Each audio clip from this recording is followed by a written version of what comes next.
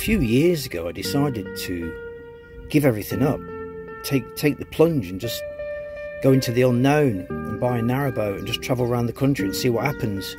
I had no plans. I had no idea what I was doing. I just got the boat, gave up work, sold everything, and then just set set sail. So in the end, I started to film it and put it on YouTube, and it wasn't very successful. So join me. on, on the um, driver's footwell where you put your feet. Yeah. This is my daughter's new car. It's like a Fiat, Fiat 500X. It's nice, actually. It's very, very nice. Oh, I better close that down. Four new tyres, full service cam belt. Before she took it, I insisted. Brand new tyres, all new pads all round. Very, very happy with this. Bless her. Good family car. Right, it's just done like It's like a reinforced section here. loads of different arms. Oh, there's a bastard motorway, I think. Wow, look at that. Woo-wee! Oxygen. Yeah, yeah. Wow. Incredible. That's it. There we are. Welcome to Bridgewater Canal. We're on it now. Navigation limit. Bridgewater Canal license. Ah, oh, look at your license. What got to book in. You're only allowed a week on here, you know. You are. You got to, got to book in. You're only allowed a week on They here. can grow up. This is the wonderful and gorgeous Bridgewater Canal, and every, every boater I talk to, they'd say, "Oh, you've been on the Bridgewater? It's beautiful." And I say, "I have been on the Bridgewater, and it is beautiful. You are correct." Right in the thermals there. Remember when I was on the Ouse, you see thousands of rooks and crows, oh, cawing in the mornings. Beautiful to see them. Peter Marine dealers there, look. Ooh, he's got a thermostat, I wonder. No, I think I've asked him before.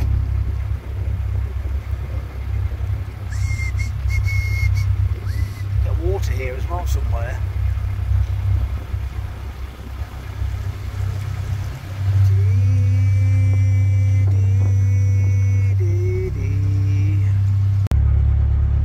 See that we're going to crash. No.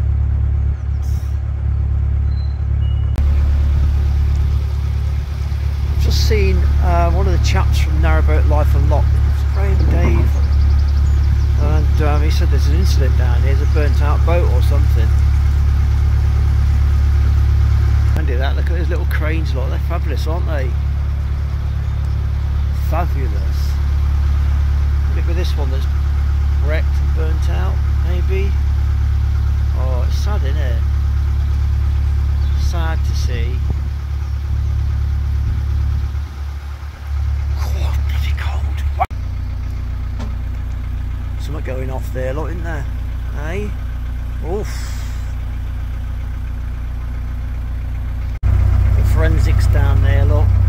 Oh, imagine that. Burnt out boat. Rockfield Bridge. Heading into Lymm now. Almost in Lymm. We're going to stay here for a few days. Got things to do. I've actually got to go and fix somebody's boat for them. One of Leon's friends has got a boat. I'm going to go look at his engines and uh, give it a service. Give it a service.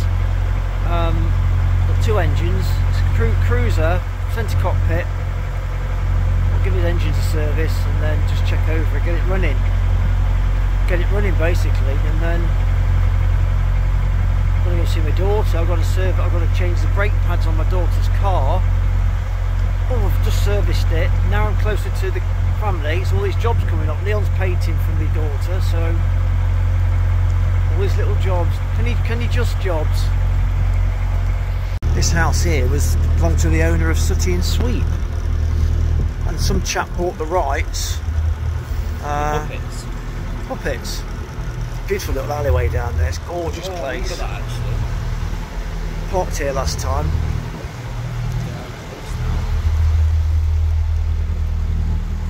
Somebody might say, "Oh, I know what that is."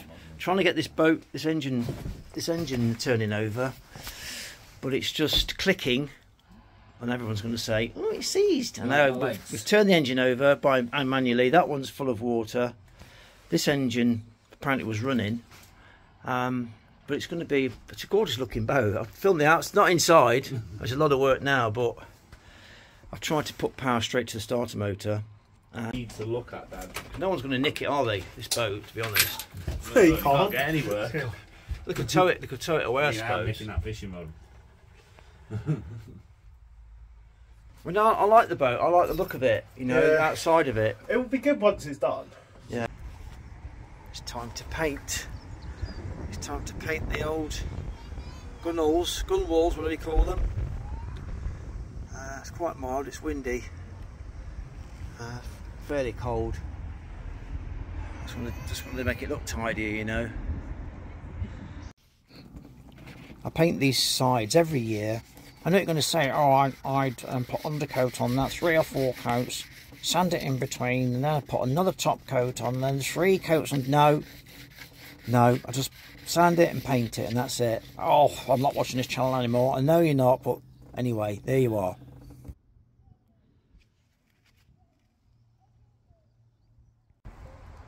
Right, I've sanded it, and I've put some rust treatment on it down there. And the next, next job is to paint it, mask it, quick coat of paint, boom, job done. I don't. I can't watch this channel. I don't believe he's not put any undercoat on it. I, I, I'm turning it off right now. I had just enough paint.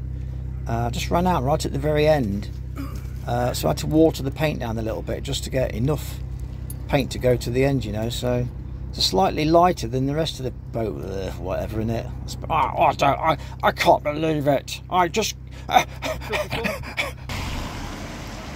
this is the lovely Lymm. Beautiful little place.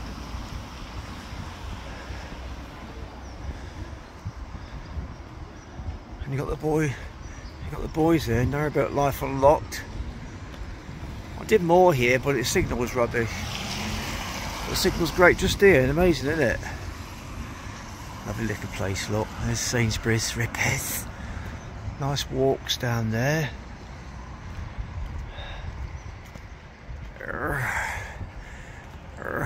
Lovely. Well, last time I came here, I was with. Last time I came, I was with my son Bradley. Was over from Berlin. Um, we had a meal in this pub last time I was here. Have you been here before? Yeah. Oh, back here again? Yeah, I am. Oh, it's boring. Seen it before all the vlogs I know. Sorry.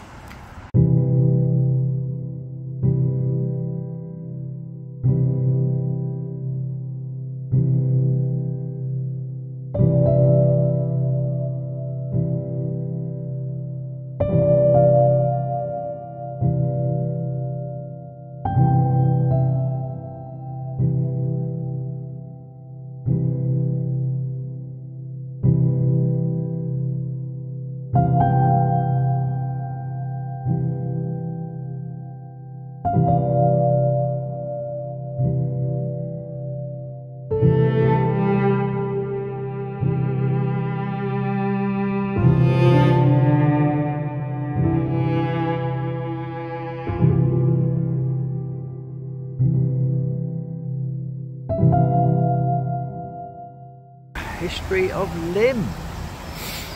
Settlement in Lymm dates back to Anglo-Saxon times when the village is listed in the Domesday Book in 1086 as Lyme. At that time, Lymm was a small agricultural community with no more than a dozen residents. Farming methods in those days meant each farm required a very large area. The name Lymm is thought to have thought to have evolved from Chilim, an ancient reference to the noise of the stream which flowed through the village. Another possibility is that the derivative of the Anglo-Saxon word lin, meaning border, prior to the recognisation of counties in 1974, Lymm lay on the Cheshire Lancashire border. Oh, lovely Lymm. You have wooed me, Lymm. You have wooed me. One of the things which is known about Lymm Cross is that it was restored Queen Victoria's Diamond Jubilee in 1897. This photograph was taken shortly after the Second World War. Compare the appearance of the cross with its appearance in the Rush Bearing Festival pointing, painting, sorry. I can't read you, can't I? No. Try my best though, don't I? Not really. Oh, okay. Industrial Revolution.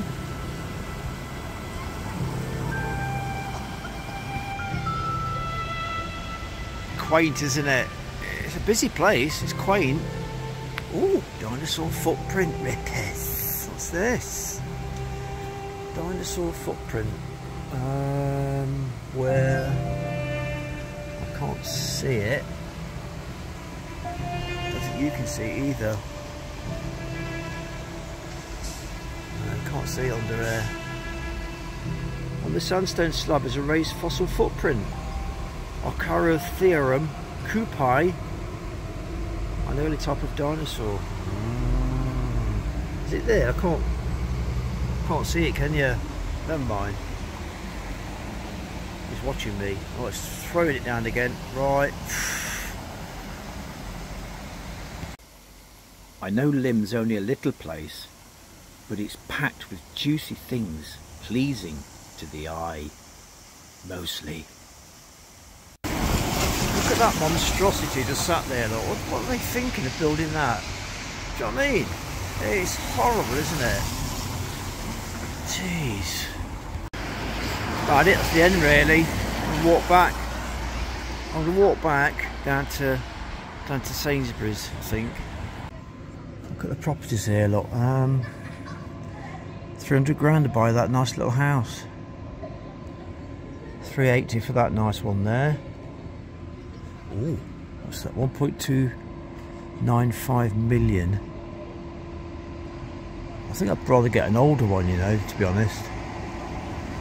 These new houses nowadays just don't. They look glamorous, but they got so many teething problems. Just don't think you get quality nowadays that you do in the old houses, you know. That's quite pretty.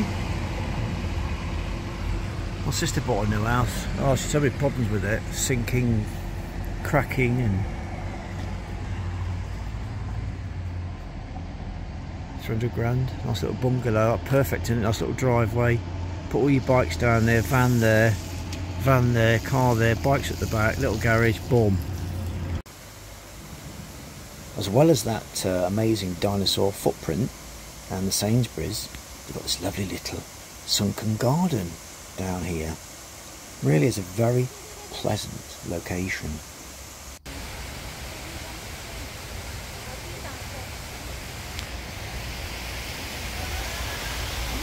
Nice little garden.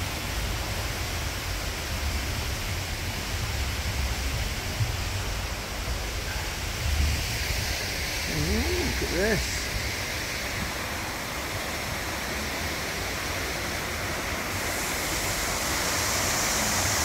That's great in the summertime, going down there on your inner tube.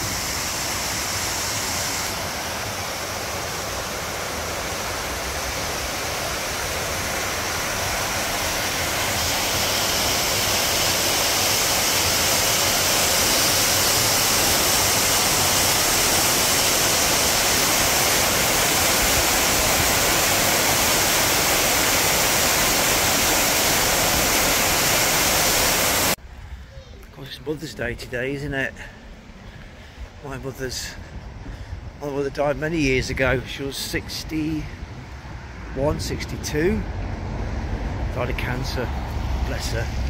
God rest her soul. Poor old girl, you know.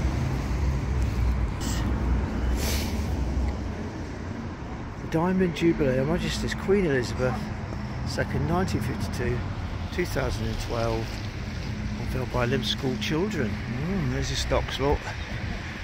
Hey, hey, asshole, you're in there, rippers. Imagine in the old days, you get punishment, right? Put them in stocks. You started causing trouble, you were in there. Everybody knew you were a troublemaker. Great idea, wasn't it? Everybody knew. you're trouble. Right, paint's dried now. Surprisingly, different colour though, isn't it? A bit lighter. Of course it's absolutely throwing it down, you know. Of course it would. Wonderful weather. It's been so wet this year, hasn't it? You know, living on water, you expect it, don't you? It needs another coat really, doesn't it? Look at how that rolls along there, look.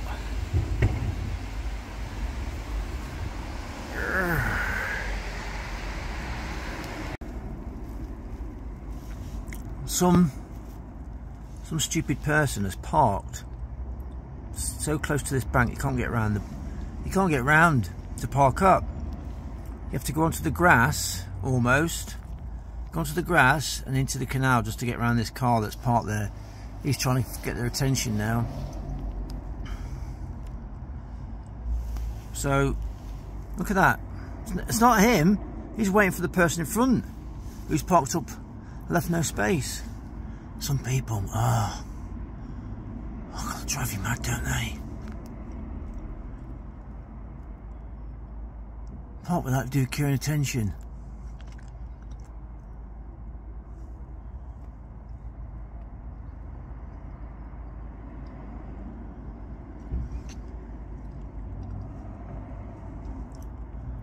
Oh my word.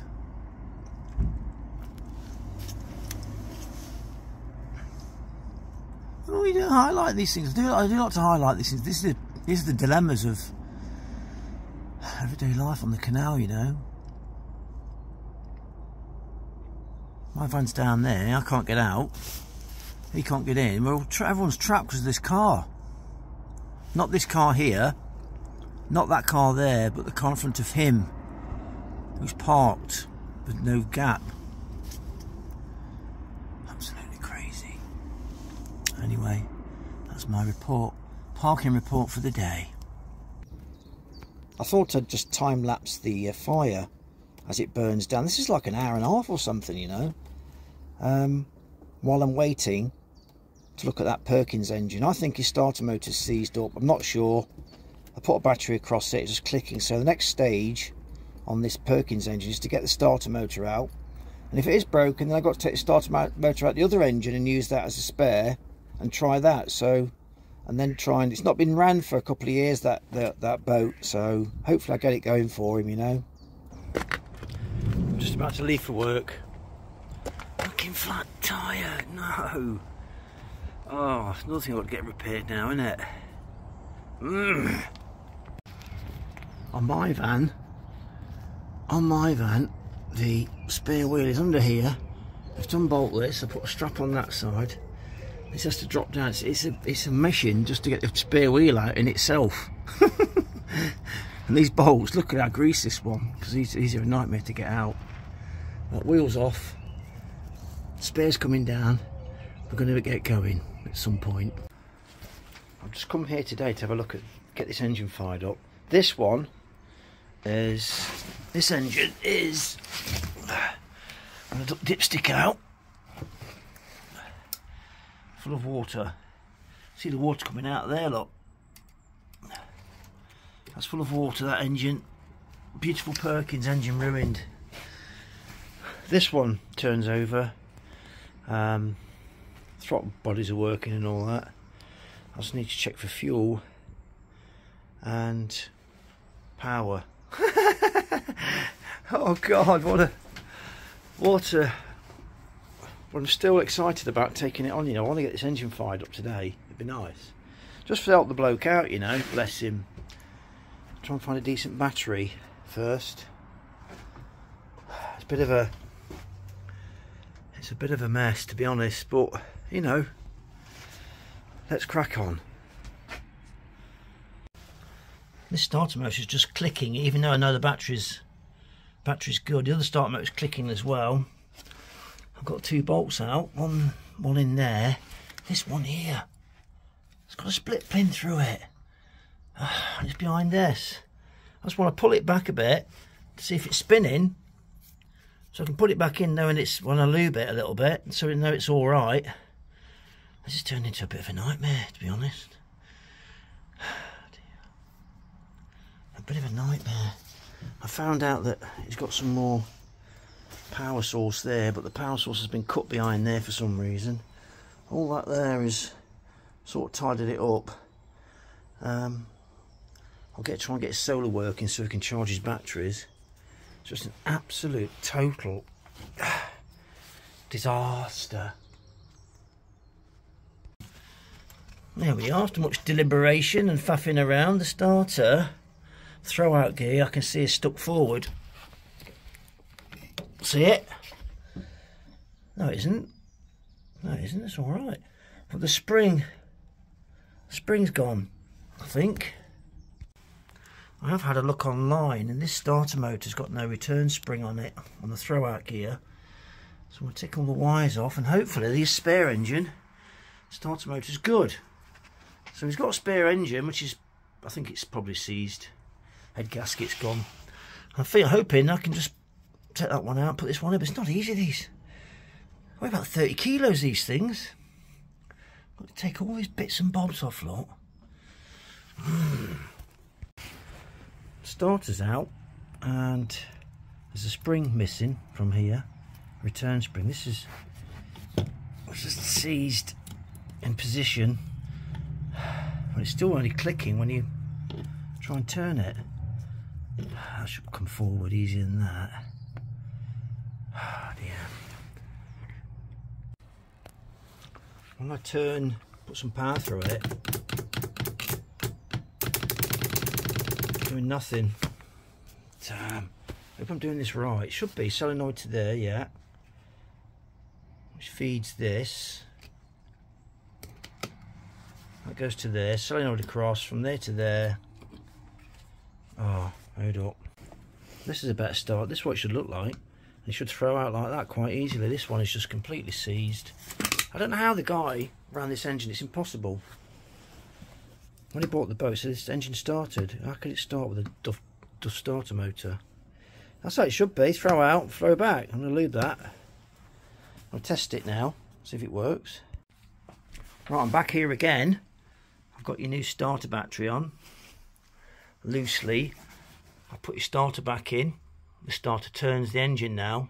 I'm just working out the wiring for the dash. Uh, so the engine's turning over on this battery now. I've swapped motors, starter motors. I haven't lubed that motor, that's a little bit stiff. So that's that's that's so so far. We're turning the engine now, which is a good thing. Next thing's going to be diesel, and then see if you've got any uh, fuel in it sorry, fuel, fuel filter, whatever, you know what I mean? Right, let's give it a go. Try this is this is how far we've got now, Ed. We've got some we've got some dash, we've got some dials.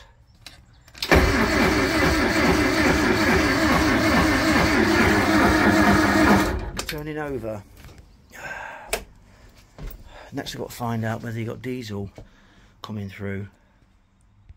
Right, I've got a solar I've got a solar charger trickle charging that battery so it's always being charged you know hopefully um, next step that was 41 quid just that little solar panel but it's direct it's, going directly straight to your battery so that should keep it topped up.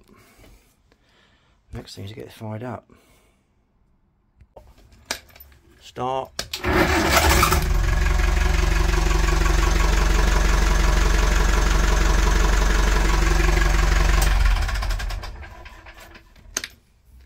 Right Ed, I've got some hydraulic fluid. There. It's a two-man job, and it's pour it in here and then two people need to bleed the system. That's the engine fired up. My sort of job done, but I want to see if it goes into gear or not. Uh, forward, reverse. Let's try that.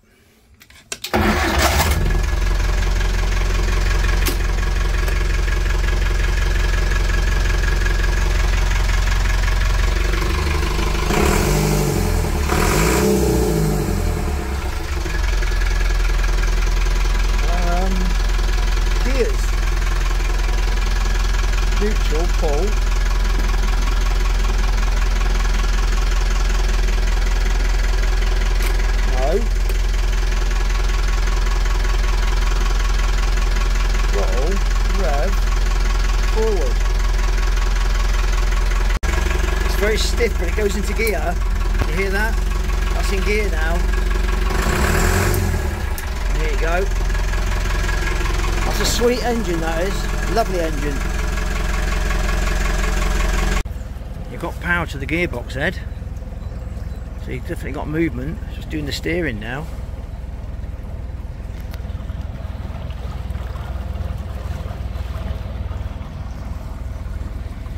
If you can see it down there, Ed, but I've got your steering going now. I've purged it of all. Can you see it down there? Wait a minute.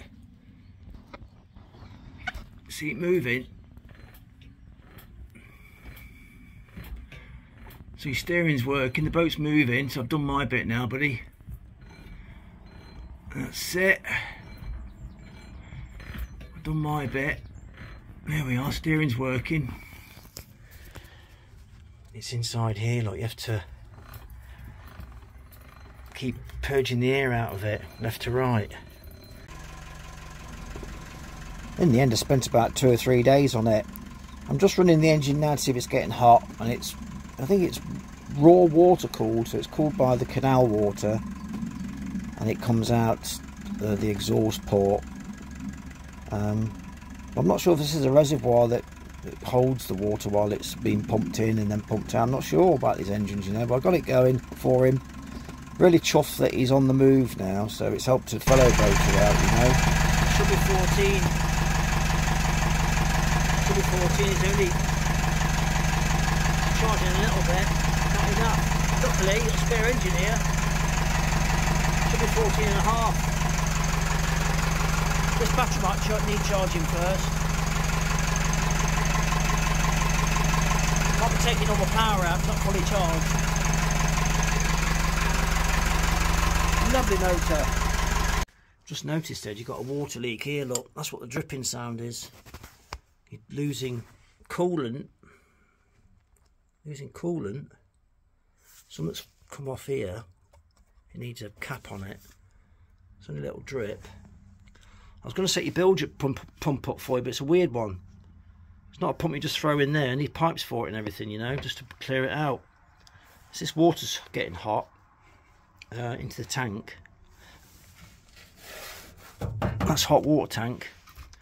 It's just leaking from this joint here. Needs a just needs a um, just needs a blocking off cap there to go on the end to get, get B and Q. I've done now. I've got to move. Uh, I've got to be up. Um, I've got to be up uh, Rebel Link by the 7th of April. So I've got 40 odd miles to do on the canal. So it's going to take me weeks. So this is my this is me done on this boat now for now anyway. So it's starting running, steering, that's me done. Filthy thumbs up.